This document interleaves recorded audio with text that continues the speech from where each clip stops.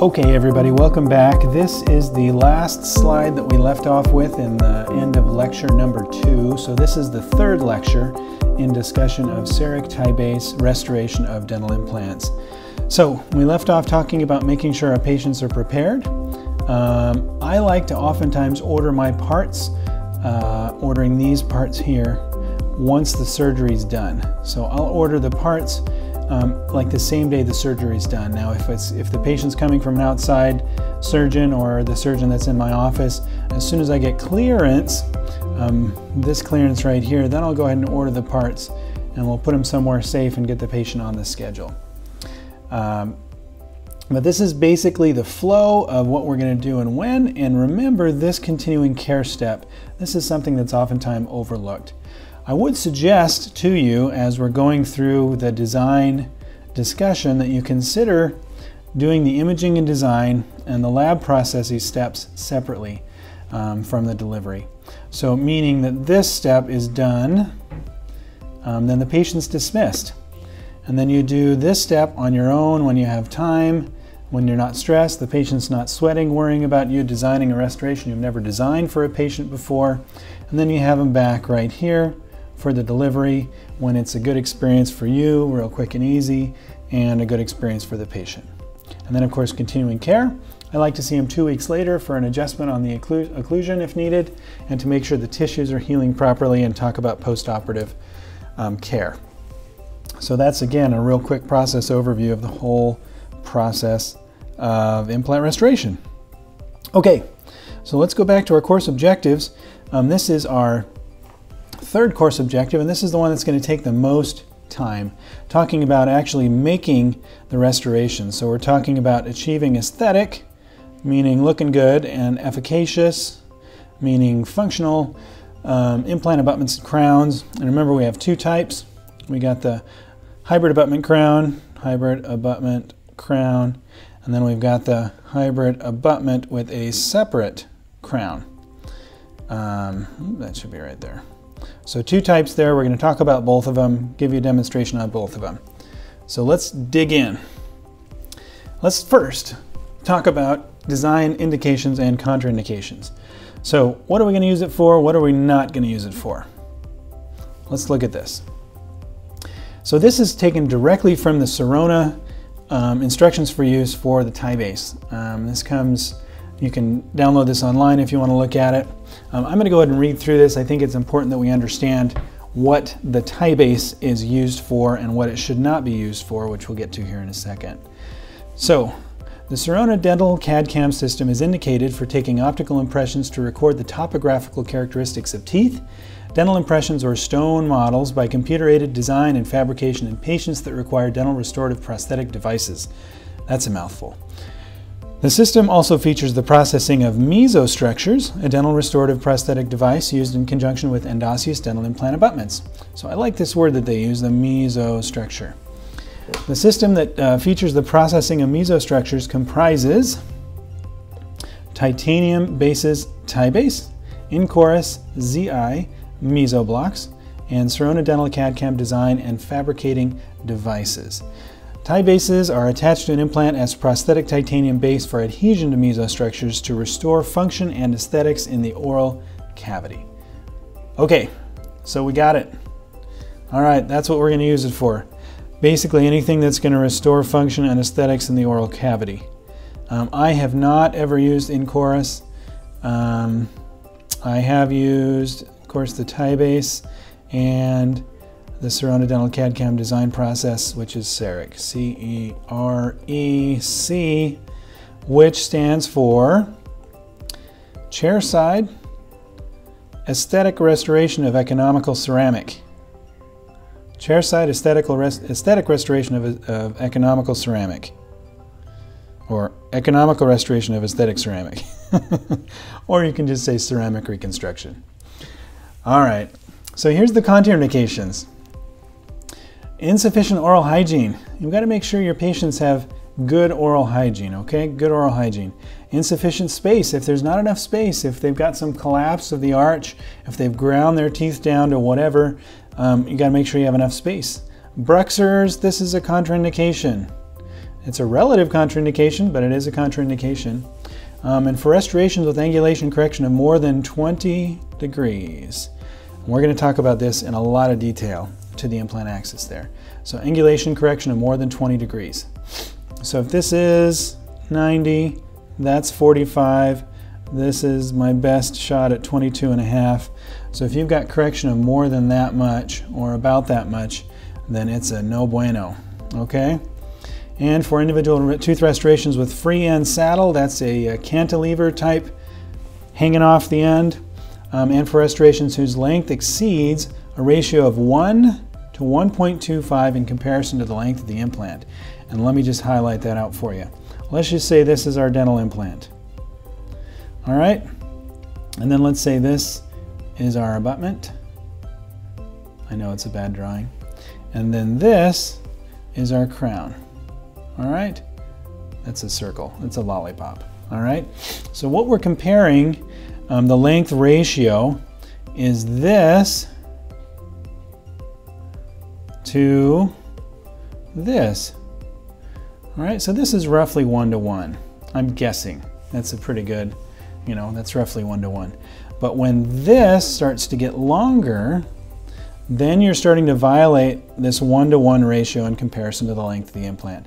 So you have to be very, very cautious. And the reason for that, it's all about torque. All that torque ends up right here at the interface, and that can cause issues for the implant and also issues for the TiBase and the ceramic. So we gotta make sure we pay special attention to these um, indications and contraindications. All right. So here's a couple of angulations questions. Um, and this is kind of free-handed measurement. Um, here's an implant. This is an implant that I placed directly into the distal root crypt right here after the tooth came out. Um, bone graft, of course, in here. Um, and this was the restoration appointment. That's 24 degrees. So that is past 20 degrees, obviously. That's a 24 degree angle correction. 24 degrees. All right, right here. So, according to strict adherence to the Sirona recommendations instructions for use, this is something that we should not be doing. Now, I did it, and it turned out just fine. This implant has been in service, or the crown has been in service. I think we're going on four years now. Um, no issues. Um, it was serving the patient well. He's actually had more bone filling in around these areas in recent x-rays, so no worries with this particular indication. Um, although, again, this is pushing past the recommendation for use. Here's one that's even more extreme. Um, this one also was into the distal root crypt of an extraction, and that's 28 degrees. Um, that's a pretty significant angle correction. Now we know that there are some studies that came out recently that we can go as far as 45 degrees, and as long as the force is directed appropriately on the dental implant, in the end, you'll be just fine. So we don't want to push it though. We do not want to push um, the design parameters. And what I would suggest as we're going through this, um, if you're going to push something past, you know, the, the recommendation, uh, the indication by the manufacturer, if there's a failure, it's your failure. It's not the prosthetics failure. I want, I want you to be clear on that. Um, this is something I learned from a doctor in Colorado. If you push something past the design limits for instance, if you have a e.max block and you want to do a five unit bridge out of an e.max block, if you push it beyond the design limits, that's a failure if it fails. That's a failure that's on you as a clinician, not on the material. And so you have to be prepared to deal with that if it's your failure and not the material's failure. Okay? So um, we talked about this angle correction of 20, more than 20 degrees to the implant axis. Um, let's dig into this guy right here um, 1 to 1.25 in comparison to the length of the implant. Um, and this is where we start to talk about crown height space. Okay, so we're measuring these spaces, all right? So let's look at this just a little bit. This is an Ankylos D8. This is one of the big fat mama implants. I love these implants here. These are great. I put that one in. Um, so what is that? You know, we got this roughly circle right around there. If we're measuring from the interface here up to the crown, well that length is obviously more than that length. And is it one to one, more than one to 1.25? I think so. That might be one to one and a half. So this, again, if you're following the instructions from the manufacturer, is a no-go. But again, I did this and it worked out just fine. Um, worked out just fine. So just like I mentioned a moment ago, if you have a failure, this is a failure that's on you as a clinician, not on the material because these are tested rigorously at the manufacturer and that's why they make those recommendations. Um, incidentally, these areas, of course, were cleaned. This is excess cement.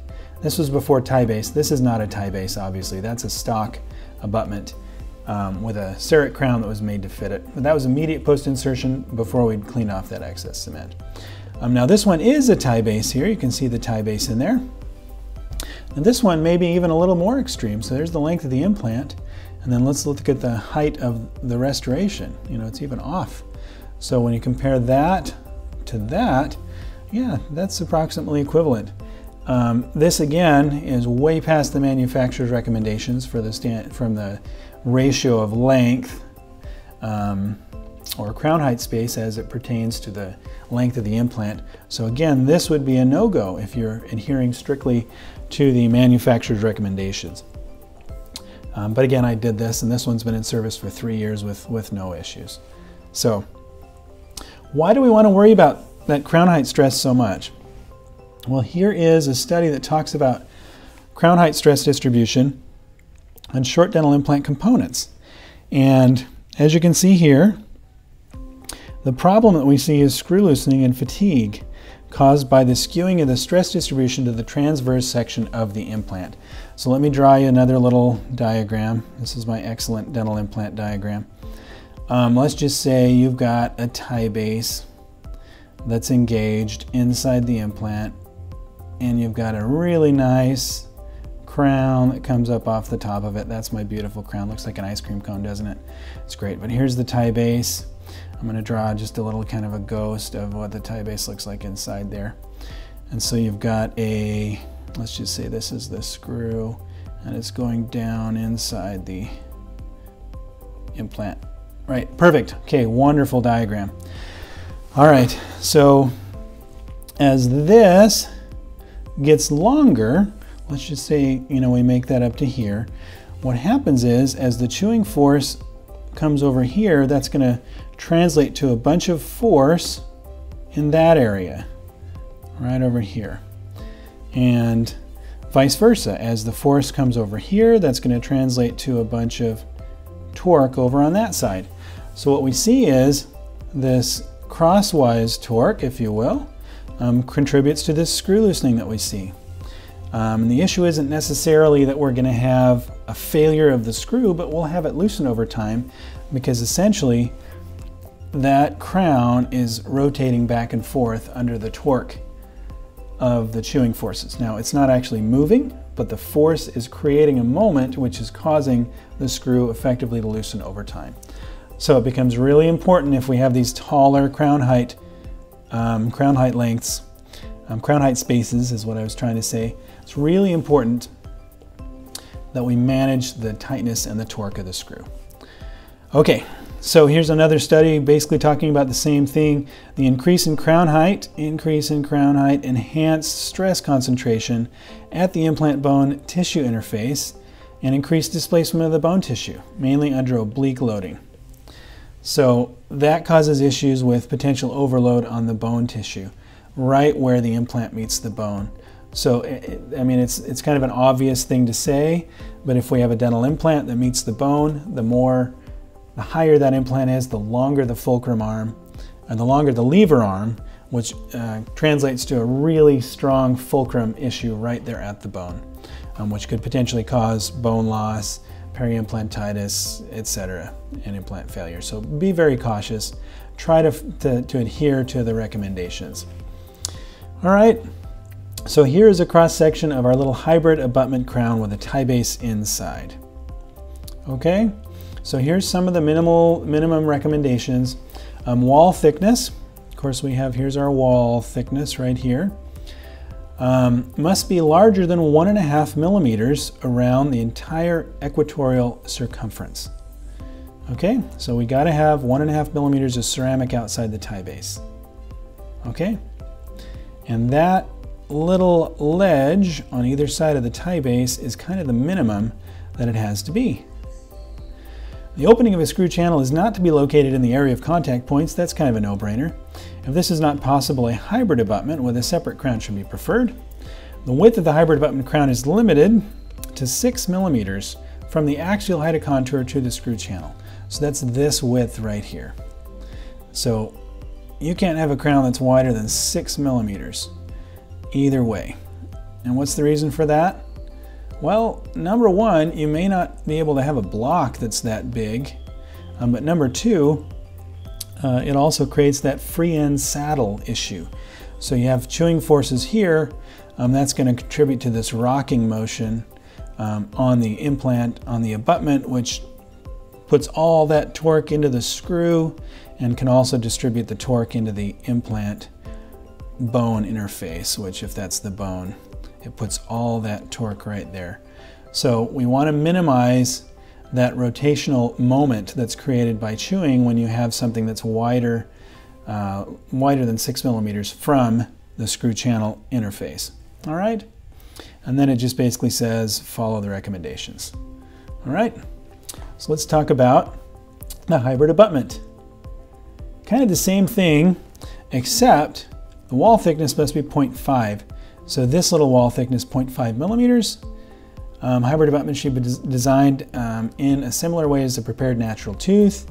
And here's the idea. We want a rounded shoulder or a chamfer. In order for the crown to be cemented to the hybrid abutment using a conventional self-adhesive cementation protocol, retentive surfaces, and a sufficient, sufficient um, preparation height must be observed.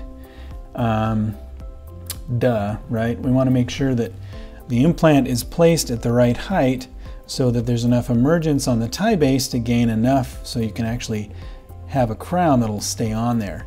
I've seen cases where after the implant is, is placed, they put the tie base in, and now you've literally got the opposing tooth that comes down like right here. So what do you have, like four millimeters of height? And that's not even enough room to put in an abutment. Crown width B, that's this width, needs to be six millimeters from the axial height of contour to the screw channel. This is the same as the hybrid abutment crown. And then we got to follow all the recommendations from the manufacturer. So the nice thing about it, this area right here, this whole little section um, is automatically done for you. The CEREC does it all. The CEREC will automatically create a nice shoulder. It'll automatically do it. So once you get to the design process, which we'll get to here in a little bit, um, the CEREC machine will create that interface without you having to do anything at all. So this, you can just check that off, it's done.